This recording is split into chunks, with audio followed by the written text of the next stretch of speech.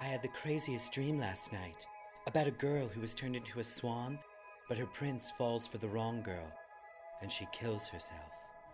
He promised to feature me more this season. Well, he should. You've been there long enough, and you're the most dedicated dancer in that company. I'm Lily.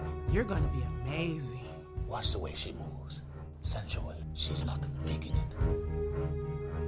Seduce us! Attack it! Attack it!